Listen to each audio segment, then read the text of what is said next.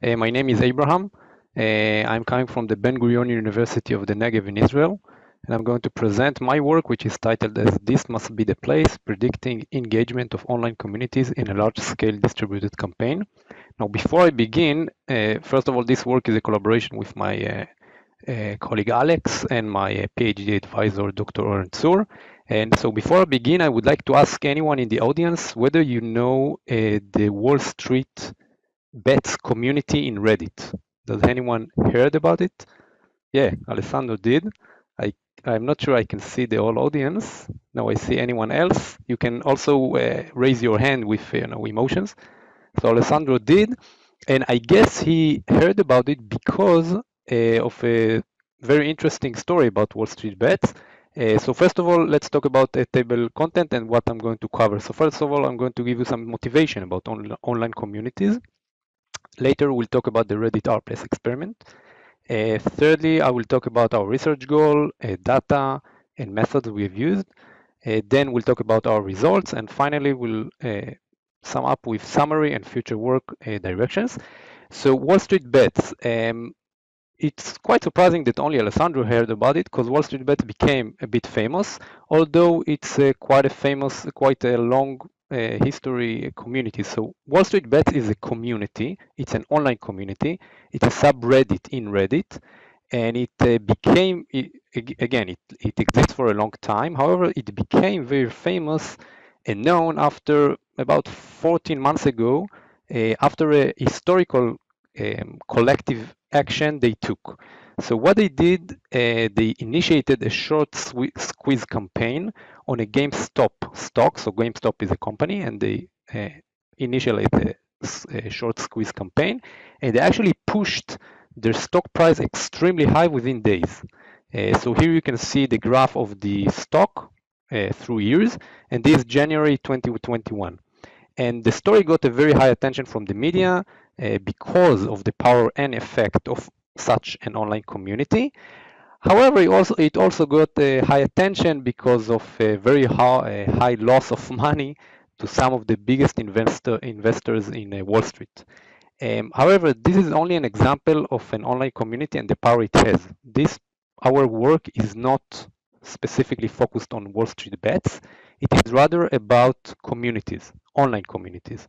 So online communities are complex. They are complex because of many reasons. They consist of many users, usually thousands and even millions. They communicate in different ways. They text, they send messages, uh, photos, uh, sound, and so on. And uh, users might have mixed membership. So users are involved in different communities in the same time. And importantly, they evolve over time. So once you analyze or model a specific community, it might be changed within hours, days, or weeks. But as always in research, with great complexity comes great opportunities. And we believe that online communities are fascinating. They are fascinating, fascinating because they maintain internal norms and behaviors. And they reflect something about our real life. So once we see a phenomena in an online community, we can understand and think about real things that happen in our real life communities. And the most important thing, as far as I think, is that they are powerful. They are powerful because, because they can fight, they can coordinate, and they can engage. Now, note that they can fight, coordinate, and engage between the commu between communities and within communities, meaning that a community can fight with another community, and also within sub-communities in the community or, or between users. So uh, this is really fascinating and we are researching this specific domain of online communities. Now another question to the audience, has anyone heard about Reddit RPlace? And, oh, Alessandro did. Okay, um, so Reddit RPlace, I, I, will give an introduction about it. Uh, uh, by the way, have you heard about it about this year or the exper experiment from 2017? Back then. Okay. Um, so on April 1st, 2017, a Reddit platform initialized an, a social experiment and they opened a new subreddit which was called RPlace and this was the description on the uh, on uh, on the community. It was written as follows: There is an empty canvas. You may place a tile upon it, but you must wait to place another. And this is a very important sentence. Remember it along my next slide. What really happened is on April 1st, 2017, uh, Reddit opened a virtual canvas of 1000 by 1000 pixels, meaning the uh, 1 million pixels totally. And there were no guidelines, no defined objective. As a user, you could have placed a pixel on the canvas, but, this is the big but, you had to wait 5 to 15 minutes before you place another one. So individually, you couldn't do much on the canvas. You could change a pixel, uh, maybe some area, but while you get your friends community, you can do something much bigger. Uh, the experiment just ended surprisingly after 72 hours. The user didn't know that it's going to end. Um, okay, so when I ask people, this, this, this picture is a picture of the canvas approximately two hours after the experiment started. And when I ask people, what do you think would happen in the canvas after hours, days, most of them say eh, you know, just a big chaos, maybe a single color or fight between two colors. Let's put black, let's put uh, red, and so on. But what really happened is quite amazing. And I'm going to show you a video um, of the actual experiment. Now it's a fast forward video, okay? Um, every second here represent approximately four hours. And as you can see at the beginning, there is the blue effort, there is the green effort, red, and after a few hours, like 12 hours, you can see a lot of flags, national flags. And within seconds, you will see a, a big battle between two countries or communities, between Germany and France. Um, so you can see that Germany is going bigger and bigger. France is, you know, getting also bigger and bigger. And there is a fight between them. So Germany is conquering France. France is going up and after a peace treaty between them, the uh, United uh, Nations or um, the European Union comes in and there is a peace treaty.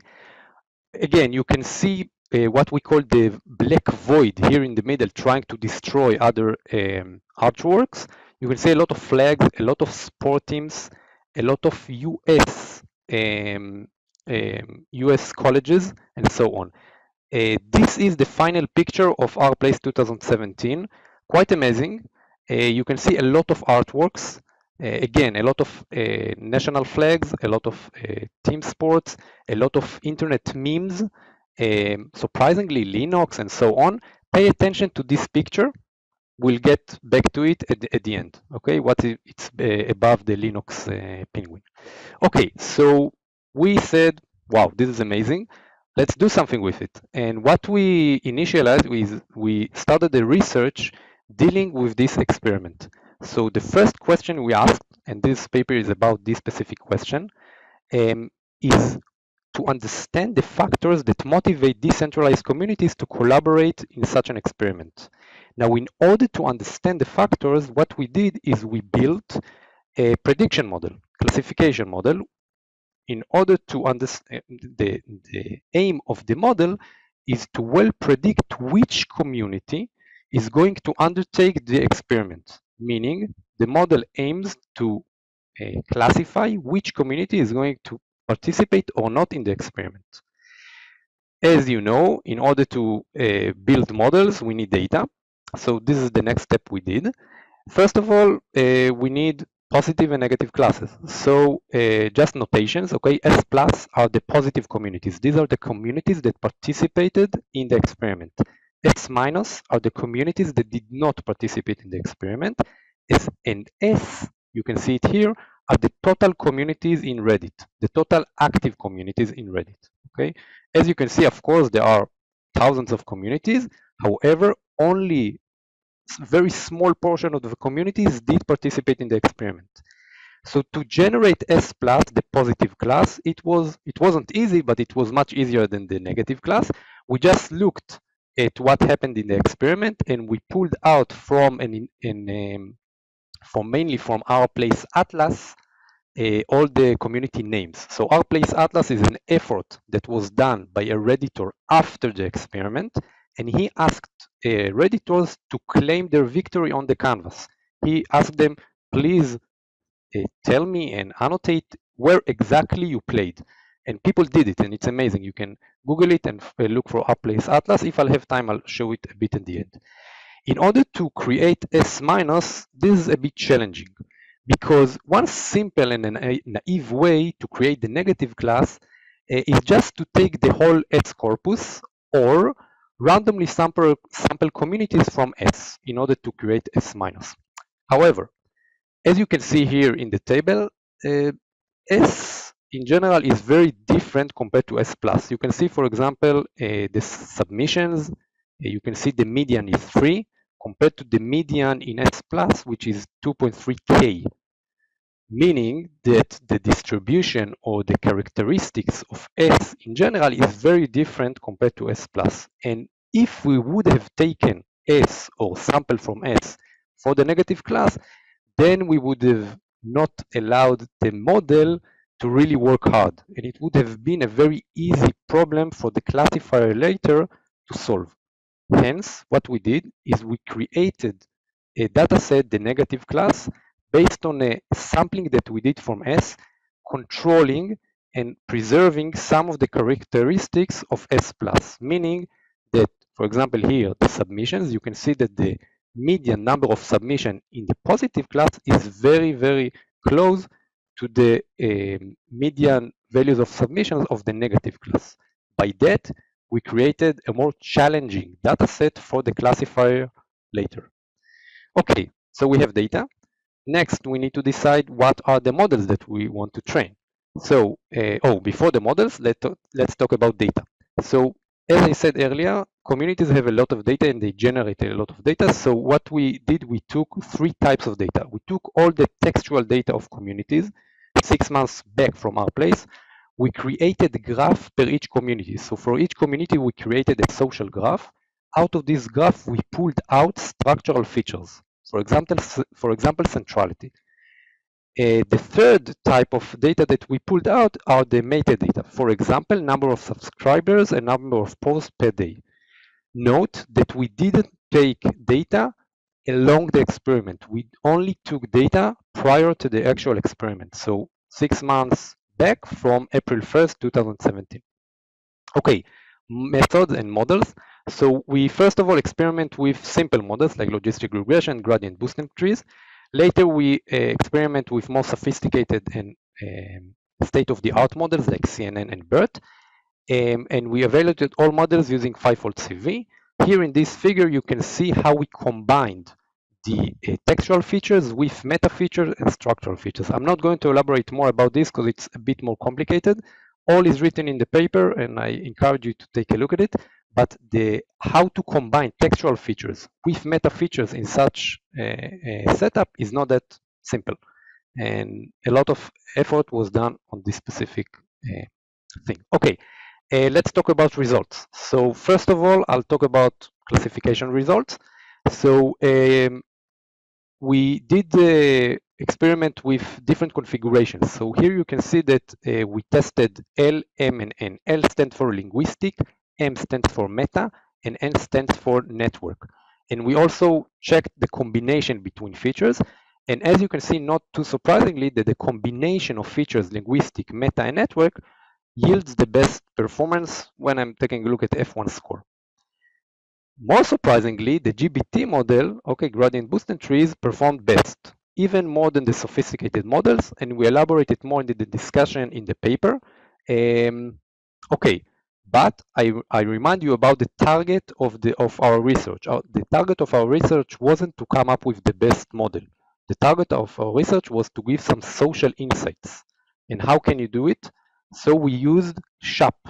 SHAP is a interpretability a component which, given a model, can allow you to understand the factors behind the model, what pushes the model towards the, his uh, best prediction.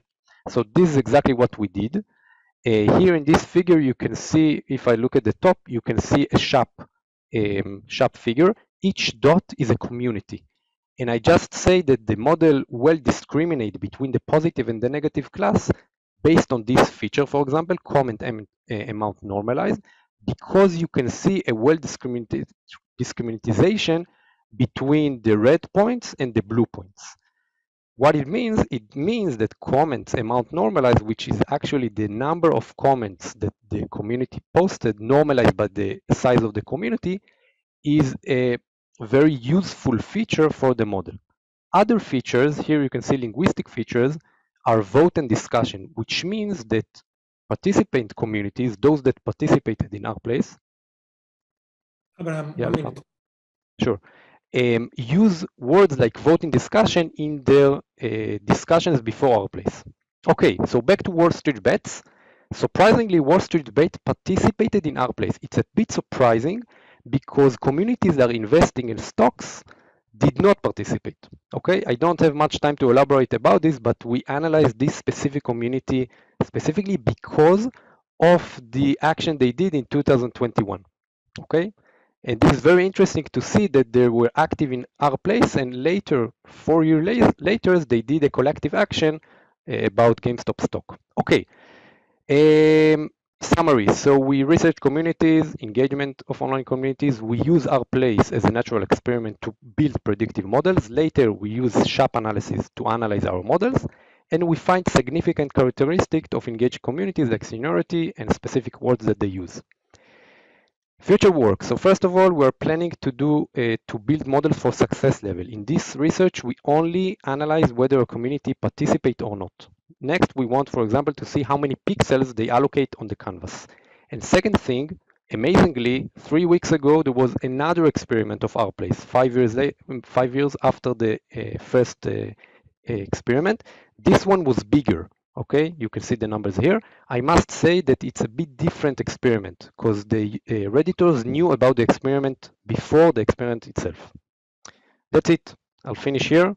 Thank you very much and i may have may take questions thank you abraham thank you very much for this nice presentation and work um, is there any question from the attendees Again, you can just switch on your microphone or uh, write it in the chat.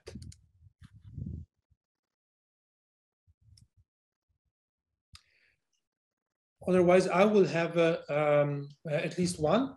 Um, so in, in, in the work here, you're basically, okay, so you, you, you evaluate, let's say, the approach uh, on this specific uh, 2017 uh, uh, RPlace event right? And then you also provide a sort of an additional validation with the, most recent uh, uh case of the Wall Street uh, bet uh, community.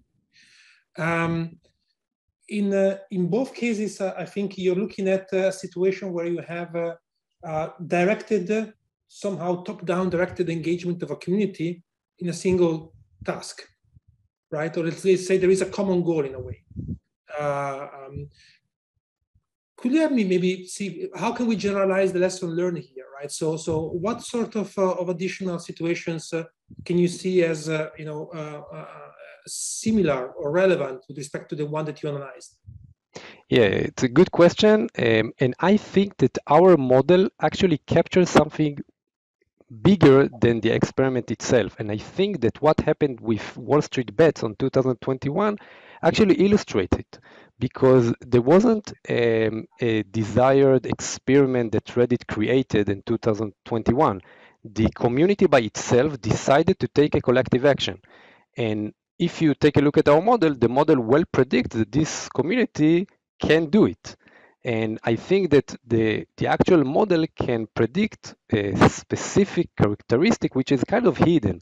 I mean, maybe uh, they have a, uh, strong connection between users and they, they are willing to fight together for a, for a joint effort. And not necessarily the RPlace experiment, rather other experiments or other efforts that they wish to, to initialize.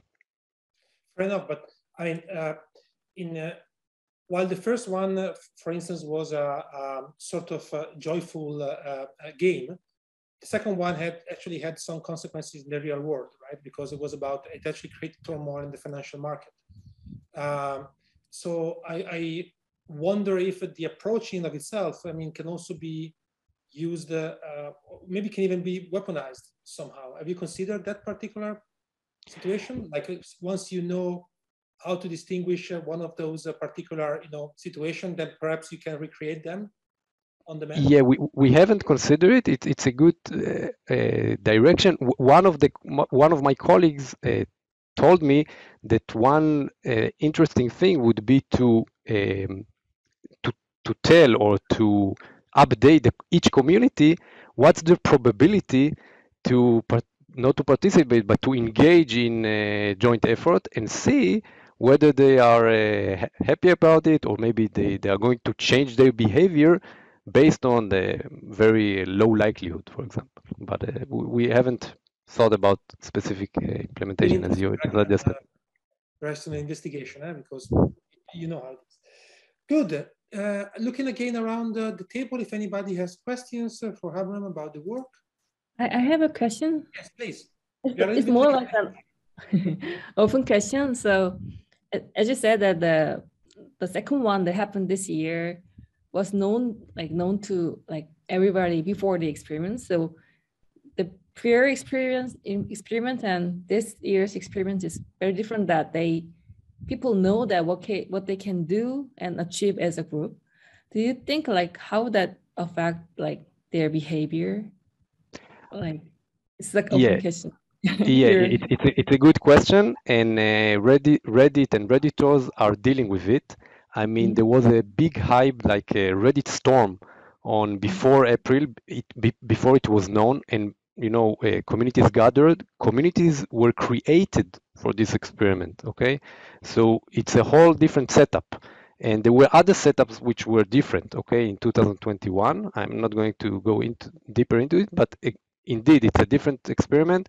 And for example, people created script to uh, to allocate the pixels because they knew there's going to come a new experiment. So it's a whole different setup. Yeah, thank you. Yeah, it's be nice, interesting to see how that differs in the results. Yeah. Sure. Thank you. Super.